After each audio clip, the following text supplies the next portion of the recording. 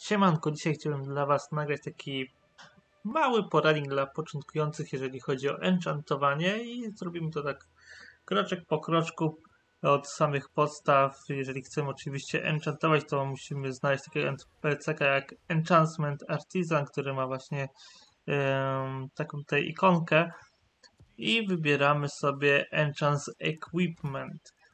Jeżeli chcemy tam jakiś sobie itemek enchantować, na przykład taką zbroję, to sobie po prostu ją tutaj wkładamy i mamy jakby dwa różne kamienie. Na razie to sobie tutaj wyłączę i wam pokażę. Mamy kamienie jakby niebieskie oraz czerwono-niebieskie są do armorów, czerwone do weaponów, tak jak sama nazwa tutaj wskazuje. I mamy różne grady jakby. Mamy trzy grady, czyli mamy, zaczynamy od niebieskich, czyli enchant zwykły, który po prostu enchantuje nam y, item o 1, czyli plus 1. Fioletowy y, może nam zenchantować o plus 2, ale jeżeli enchant nam nie wejdzie, to może nam zminusować o 1, czyli jest jakieś tam pewne ryzyko. Y, jeżeli chodzi o fioletowe kamienie, to możemy też sobie robić z niebieskiej, czyli sobie klikniemy prawym i z 10 takich niebieskich kamyczków oraz 3000 golda możemy sobie zrobić jeden fioletowy.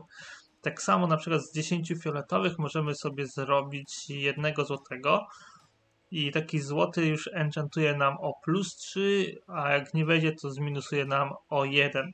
Czyli w podobnej zasadzie jak fioletowy, tylko że może zrobić na plus 3. Tylko też trzeba pamiętać, że te kamienie złote już mają troszeczkę mniej szansy na wejście, także um, to też trzeba mieć na uwadze że jest większa szansa, że taki nie wejdzie i wtedy wam zminusuje ekwipunek o minus 1. Wiadomo, jak macie na 0 i pierwszy kamień wrzucacie, to wam nie zminusuje, ale jak już macie na przykład zenchantowane na plus 2, próbujecie zrobić na plus 4, to może wam spaść do plus 1 niestety. I dobra, czy tak, warto też tutaj powiedzieć, są też takie przedmioty jak e, breaki, czyli oni mają taki kieliszek na czerwonym tle i jest jakby pęknięty, czyli takie przedmioty, jeżeli enchantujecie, to one mają tutaj szansę że jak nie wejdzie, to on się zepsuje, tutaj pisze destruction. Jeżeli nie wejdzie kamień, to on się po prostu zniczy, że item po prostu zniknie i tyle. Te wszystkie inne pozostałe przedmioty, które tego kieliszka nie mają, to one normalnie, jeżeli enchant nie wejdzie, to nic się z nimi nie stanie, po prostu tutaj są nasze sloty, ile razy możemy dany kamień, jakiś kamień wrzucić, to nieważne, czy to będzie jeden, ten niebieski, czy fioletowy, czy złoty, każdy kamień zabiera nam jednego slota, czy wejdzie, czy nie wejdzie, on będzie nam tego jednego slota zabierał. I w zwykłych itemach to on po prostu będzie, jeżeli nie wejdzie, będzie na szaro i tyle. A jeżeli na takim breaku to zrobimy, to niestety tego breaka stracimy cały item. Yy, tu właśnie jak już Wam wspomniałem, macie tutaj sloty, ile razy możecie dany item enchantować, no to też warto zwracać uwagę.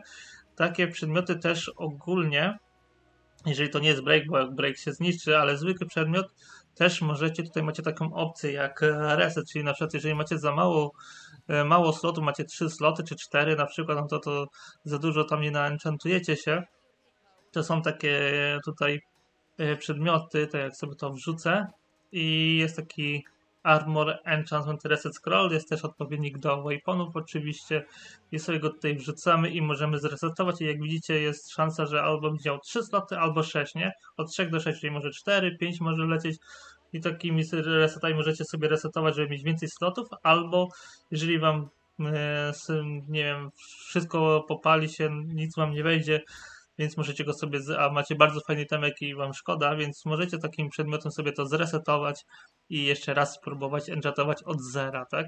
Są też scrolle, które mogą cofnąć o jeden, czyli jeden ostatni, taki, zaraz wam pokażę, um, tylko tutaj chyba raczej będą tylko takie scrolle, to tutaj można kupić takie trzy scrolle byłoby trzeba kupić, żeby zrobić jednego scrolla, który cofa o jeden. Nie ma tutaj takiego gotowego scrolla, niestety, z tego co widzę. O, tutaj jest taki gotowy. I on cofa, ale to tylko na niebieskim gredzie, cofa o jeden. Jedną kratkę zamiast cały item resetować, a ten taki zwykły to on resetuje cały item, całe wszystkie sloty resetuje oraz nawet to ile slotów właśnie będzie, to też resetuje. Tutaj też jak widzicie jest, e, najlepiej to będzie pokazać Wam tutaj, E, Enchant Equipment i tutaj macie taki złoty, to on jest Gold Slot Without Enchantment. E, to jest, że zwiększa wam szanse na wejście. To nie jest, że tam 100% od razu macie szansy, ale tam ileś tam procent jest dodatkowej szansy. Nie wiem ile tak dokładnie, ale troszeczkę tam zwiększa, więc y, fajnie jest mieć też takie właśnie taką złotą obramówkę. To też randomowo wszystko idzie i z tym zawsze ma się tam ileś tam dodatkowej szansy na to, że ten enchant wejdzie. Tak tutaj wygląda na przykład, pokażę wam mój item, e, zbrojkę. Tak to wygląda, jeżeli enchant wejdzie. Tutaj widać złotą bramkę, czyli że miałem zwiększoną szansę. Niebieskie to jest, że weszło, szary to czyli, że enchant mi nie szedł niestety. Więc e, jest no akurat na plus 10, czyli nawet nie pamiętam jakimi tutaj kamieniami wrzucałem, ale e, raz, dwa, trzy, było 6 slotów, więc pewnie tutaj nawet jedynkę wrzucałem, czyli niebieski, czyli tutaj zrobiłem plus 2, plus 4, plus 6. Tu próbowałem jedynką i może nie weszła, więc y, jako, że ta plus jedynka nic nie resetuje, więc było dalej plus 6. I tutaj zrobiłem dwójkę, plus 8 i plus 10. Może coś takiego zrobiłem, nie jestem pewien tak naprawdę aktualnie. Chyba, że na początku zrobiłem plus trójkę, też mogło być coś takiego, że y, wbiłem na plus 3, potem było tutaj plus 5, plus 7, tu spadło na plus 6, bo nie weszło i plus 8, plus 10. Mogło też tak być. Tak może to zrobiłem. Co tutaj też warto na tym, o tym enchant, enchantach yy, powiedzieć. Yy, jest też jeszcze taki jeden tutaj NPO, tylko go tutaj nie widzę tego drania. Dara to może później go gdzieś tam przyłapie. Y, mamy tutaj też coś takiego jak y, zmienianie w ogóle sobie grade'u, czyli z niebieskiego możemy zrobić sobie na fiolet i z fioletowego możemy sobie zrobić na złoty, żeby niebieski. I tutaj mamy, aktualnie jestem w mieście ogólnie Foothold, ale to w każdym większym mieście, czy to yy, Foothold, czy tam po drugiej stronie też gdzieś tam jest. nie wiem, czy też tutaj też przypadkiem nie jest, na pewno w tym Footholdzie też jest footholdach. Y, nie wiem, czy w przeciwnych falach ty też foothold się nazywa normalnie. Czyli footholda, czyli e, w tych głównych miastach, stolicach e, są te NPC-ki wszystkie i mamy obok właśnie Equipment Upgrade, czyli możemy sobie wejść do niego, zrobić sobie, kliknę sobie Equipment Upgrade i jak wrzucimy sobie ten niebieski item, to on nam tutaj pokazuje, co my tutaj potrzebujemy, żeby móc zrobić ten item na item fioletowy. Tylko tutaj mam akurat, no, no, no na breaku też można pokazać, chociaż na breaku to się troszeczkę różni, jak widać, bo tutaj też już inne itemy potrzeba, a pokażę na moim fioletowym, który nie jest breakiem, tu też właśnie, jak widać, inne trochę przedmioty potrzeba. O breakach ja nie będę mówił za bardzo, bo breakami się nie zajmuję, szczerze mówiąc, jak widać, ja breaków na sobie nie mam. Breaki to ja myślę, że więc warto zostawić sobie troszeczkę tak jakby, że powiem, na koniec, ponieważ ciężko jest je zrobić przez to, że się co chwilę rozwalają i co chwilę trzeba zdobywać nowe przedmioty. To też nie jest takie proste. E, więc breaki sobie e, na razie odkładam na później. Dobrze jest mieć na przykład offhanda w breaka, ponieważ odblokowuje nam tutaj piątego slota wtedy. No i wiadomo, breaki są najmocniejsze, naj, najlepsze statystyki mają. No ale bezpiecznie jest na razie tak bez breaków sobie robić. E, I żeby sobie przebić na niebieski, potrzebujecie aktualnie przynajmniej na breaku, nie wiem czy na zwykłym tak samo jest, e, czy taka sama ilość, ale chyba taka sama ilość. Potrzeba e, trzy takie kryształy. Żeby zdobyć trzy kryształy takie, tu macie fuzjon, możecie sobie sprawdzić, żeby zrobić takie trzy kryształy, to żeby jeden kryształ zrobić, to trzeba mieć 5 takich kryształów y, Find Equipment Upgrade Stone, które się robi poprzez niszczenie sobie niebieskich itemów. Jeżeli rozwalicie niebieski itemek, to dostaniecie taki fragment i takich fragmentów potrzeba aż 5, żeby zrobić jeden taki klejnot, a takich klejnotów potrzeba, jak widać tutaj 3, bo jest 0 na 3, czyli 15 takich y, przedmiotów trzeba rozwalić, żeby mieć te 3 kamienie. Dodatkowo też trzeba mieć ten niebieski item zenchantowany na plus 6. Jeżeli macie niebieski item zenchantowany na plus 6, plus tamte kamyczki, to możecie sobie go przerobić na fioletowy i oczywiście ten plus nam spadnie, czyli z niebieskiego plus 6 zrobi się fioletowy plus 0 i od nowa wtedy trzeba się bawić z enchantowaniem. Tutaj mogę Wam na pokaz pokazać, e, tutaj macie dismaila, czyli taki młotek, klikacie sobie na przedmiot i on się wam tutaj rozwala. Jak widzicie, dostałem ten niebieski kryształ, jeden. Żeby z, przerobić na fioletowy, potrzebowałbym takich 15. Możecie sobie to farmić albo sobie kupić po prostu z marketu. Wchodzicie sobie, potrzebujecie wtedy zbroi, no to wchodzicie sobie na armor, e, top i sobie wybieracie najtańsze i sobie lecicie aż do niebieskiego i sobie te niebieskie kupujecie tyle, ile wam potrzeba. Tak samo można robić z fioletowymi.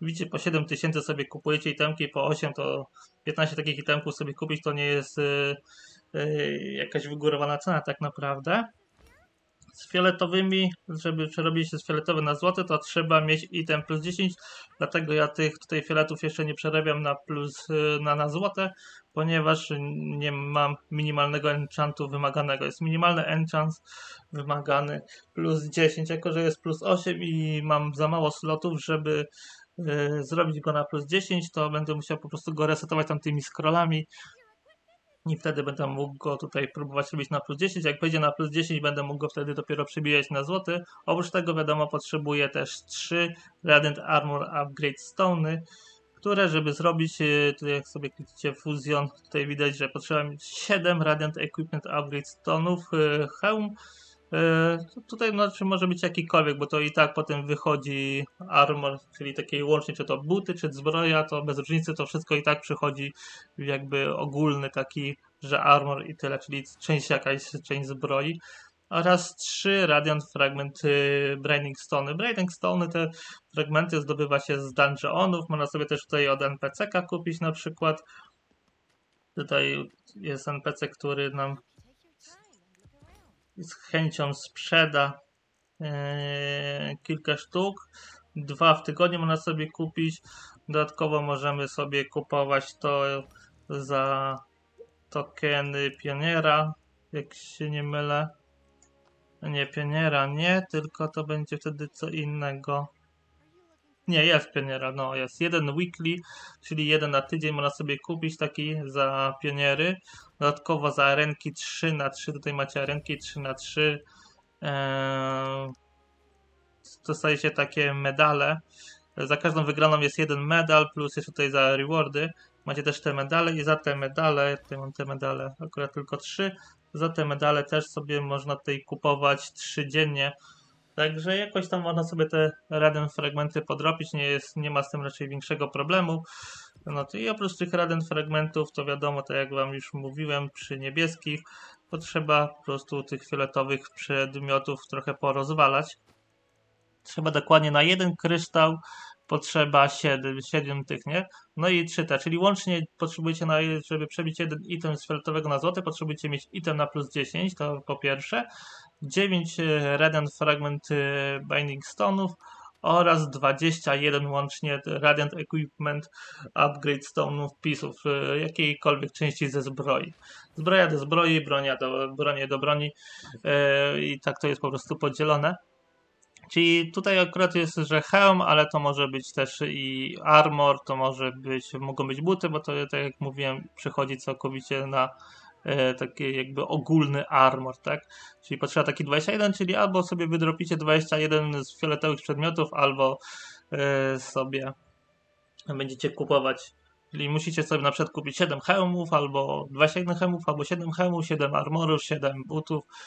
E, tak już jak sobie to tam E, rozplanujecie, tak sobie zrobicie, żeby łącznie tutaj no 7 tych samych części potrzeba, żeby zrobić jeden, a potrzebujecie 3 te, więc no sami rozumiecie co i jak. Nie trzeba tutaj wykładać wszystko tak kawa na ławę, to już wszystko raczej wiecie i rozumiecie.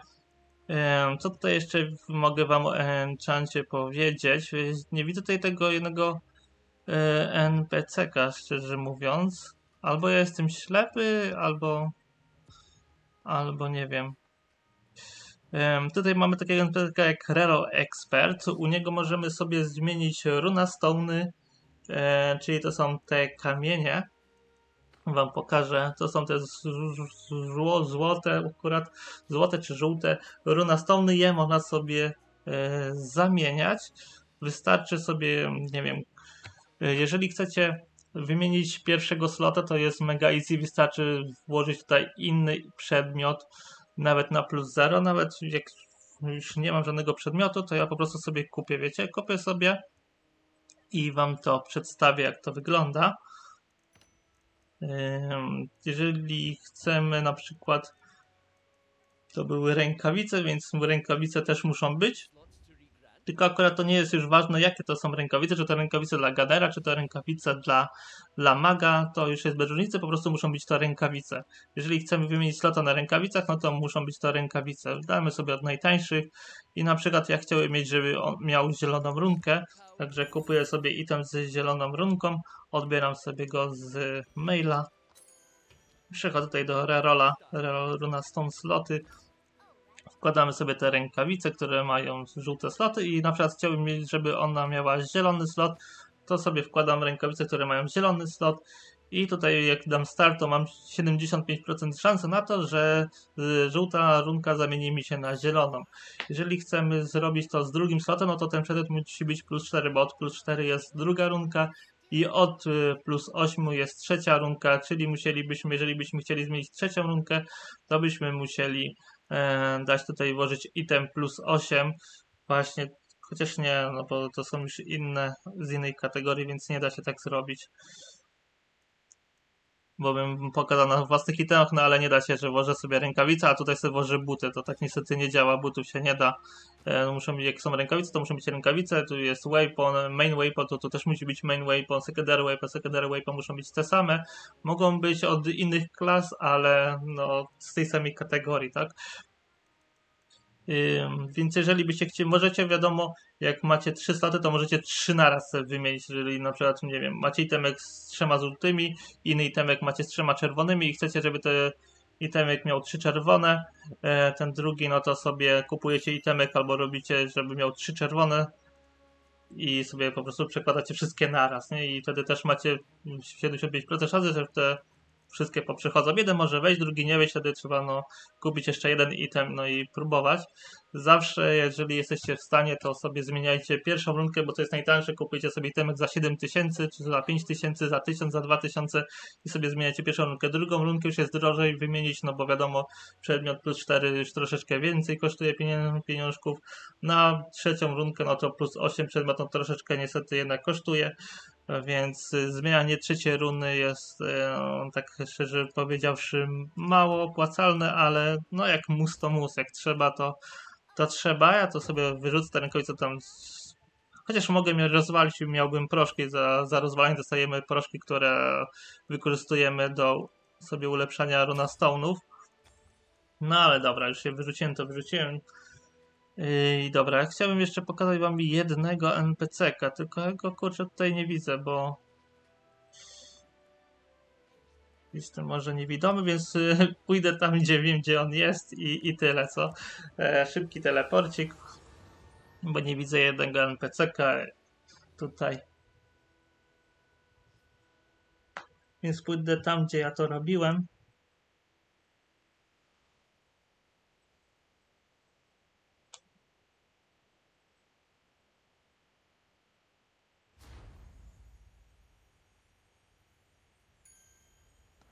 Nara, i lecimy tutaj do tego NPC-ka.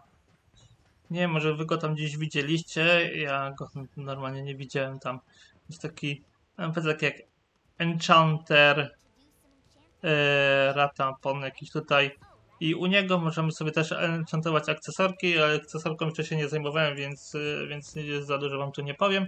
Ale mamy tu jest coś takiego jak special effect. Możemy sobie jeszcze do każdego przedmiotu dodać sobie taki specjalny efekt. No już mam tutaj powrzucane wszystko, ale dam sobie tutaj jeszcze tu powiem, że jeżeli jest niebieski item, to potrzebujecie niebieskiego przedmiotu, znaczy zaraz wam pokażę, no włóż fioletowy, a tutaj żeby zmienić to już trzeba co innego, ale normalnie to tego nie ma, jest tylko to.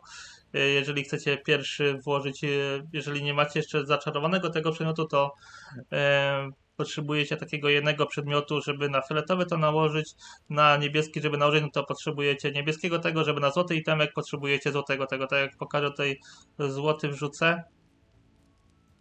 Tylko muszę go wyjąć i włożę złoty i potrzebuję złotego przedmiotu, tak? Jak samo na niebieski przedmiot, jeżeli byśmy chcieli włożyć enchantment, to też tego niebieskiego byśmy potrzebowali. Enchantment to jest dokładnie tutaj yy nam pokazuje, dostajemy dwie jakby statystyki za wrzucenie sobie takiego itemku. Jedno to jest randomowy efekt, czyli nam losuje albo agility, albo critical hit, acceleration, vitality, accuracy albo dodge'a. Tak samo może nam wylosować od 5 do 20 aż yy, oraz drugi efekt, który dostajemy tutaj, yy, który też ma różne stage, stage od 1 do 4, czyli od 2,5% do 7,5%, takie jak zwiększony damage na humanoidy, maszyny, animal, insect, dragon, spirit, demon i undead.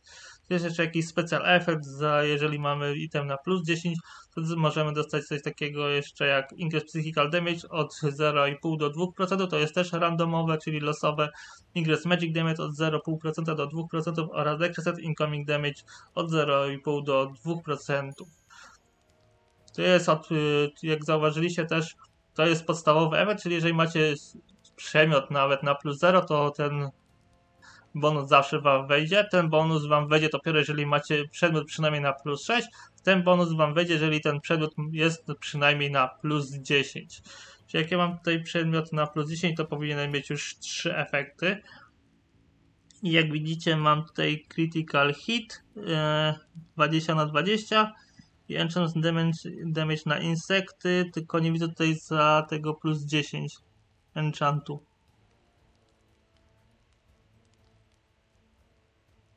A powinien być ten trzeci jeszcze. No ale dobra, trudno. Może ja jestem ślepy po prostu. I dobrze, powiedzieliśmy sobie o rodzajach kamieni, że możemy sobie je e, tutaj też e, przerabiać z niebieskich na fioletowe, z fioletowych na złote.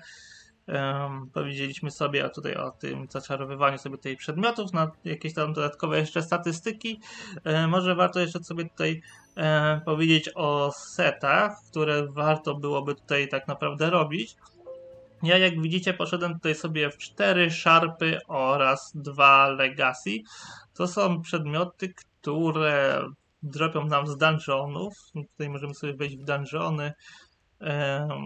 I tutaj mamy dungeony grupowe oraz tutaj dungeony solo, które możemy sobie tutaj robić w jedną osobę. I tutaj nam takie przedmioty właśnie dropią. Mogą one nam już wydropić na niebieskim, albo nawet już na fioletowym. Także na takiej tam tu są, tych setów jest chyba trzy. To jest y, Cycling, y, Legacy oraz y. Już nic innego chyba nie ma jak widzicie, każdy set tutaj dostaje dodatkowe bonusy za założenie um, iluś tam części z danego seta. Legacy daje nam za dwa przedmioty atak speeda 10%, za cztery założone przedmioty zmniejsza nam cooldowny o 10%. Sharp e, za dwie części daje nam 10% critical rate'a, a za cztery części 20% critical powera. E, oraz Cycling daje nam za dwie części Max Energy zwiększoną o 100, czyli taka nasza mana oraz y, naturalną e, regenerację many o plus 10, czyli czy to nie jesteście w kombacie, czy w kombacie, bez różnicy, czy jesteście w kombacie, czy nie jesteście w kombacie, macie zwiększoną regenerację many o 10 punktów, czyli tą energy. Czyli coś takiego właśnie, jakiegoś bardziej tutaj, jeżeli macie problemy duże z maną, to też taki fajny secik jest. I ja sobie tutaj tak skompletowałem, żeby to było, szczerze mówiąc, i po taniości, ale też, żeby to jakoś fajnie funkcjonowało, czyli cztery szarpy sobie tutaj zacząłem robić oraz dwa legacy, czyli mam tutaj, jak widzicie, na żółto podświetlone critical hit rate 10% oraz critical hit power plus 20% i dodatkowo jeszcze do tego mi tutaj dochodzi mi z legacy attack speed plus 10% i maina mam egzekutora który leci na Goblin Cave, bo to jest niemalże najlepsza broń, prawie że najlepsza broń. E, jeżeli ją zrobimy oczywiście na złotym poziomie, a Goblin Cave to jest pierwszy dungeon na 28 level, to jest ten egzekutor Vigor Bow. Te przedmioty opłaca się enchantować. Nie enchantujcie takich przedmiotów, które wam tam gdzieś tam lecą co chwilę jakieś nighty, bo to są sety dużo słabsze. E, sety dungeonowe, od na przykład jeżeli porównywać do Knightów, e, mają przede wszystkim więcej tutaj podstawowych statystyk, które tutaj macie Psychical Death, Magical Death, Agility i Vitality, to set e, jakby itemy setowe mają tych statystyk więcej, to po pierwsze. E, po drugie, mają więcej bonusów, ponieważ na przykład jeżeli byście Knighta zrobili na złote, to random efektów miałby tylko dwa, a setowy ma tych e, efektów aż trzy, więc to jest też wielka, wielka różnica naprawdę. Oraz tutaj dochodzi nam coś takiego jeszcze, że czekajcie, czekajcie, czekajcie, co chciałem powiedzieć. A, i jeszcze oczywiście mamy tutaj dodatkowo bonusy setowe, tak jak Wam mówiłem, 10% critical rate'a, 20 powera oraz y, z Legacy mam 10% y, y, attack speeda, więc są to itemy dużo, ale to dużo lepsze niż jakieś tam fioletowe nighty, a koszty enchantowania tego ulepszania są takie same, więc bez sensu wkładać kamienie oraz resety w jakieś nighty, tego nie róbcie. Jeżeli chcecie ulepszać przedmioty, to od razu róbcie to albo z breakiem, jeżeli chcecie na przykład breaka offhanda możecie sobie zrobić, a reszta jakieś tam setowe, nie?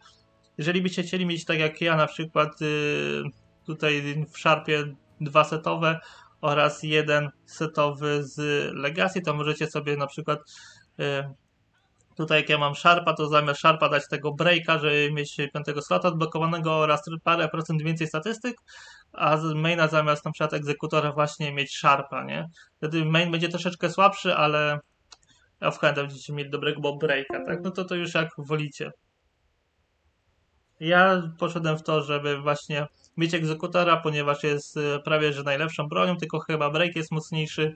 Jak coś możecie mnie poprawić, jeżeli wiecie coś więcej i tutaj Sharpy i Legacy, żeby mieć te bonusy, więc often taki Sharp, e, jak najbardziej mi odpowiada, ponieważ nie traci on jakoś dużo na jakby na statystykach, jeżeli chodzi o te offhandy, które są w stanie się zepsuć, tak jak wam mówiłem, jak enchant nie będzie, to on się od razu psuje.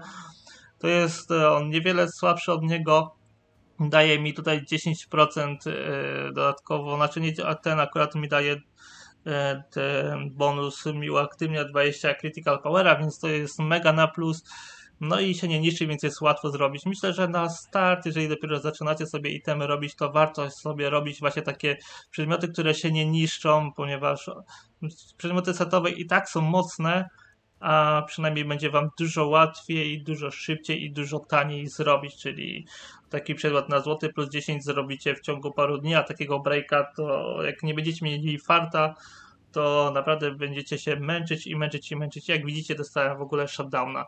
Więc to i tak byłoby na tyle, co chciałem Wam e, powiedzieć. Trzymajcie się i powodzenia w Elionie. Na razie.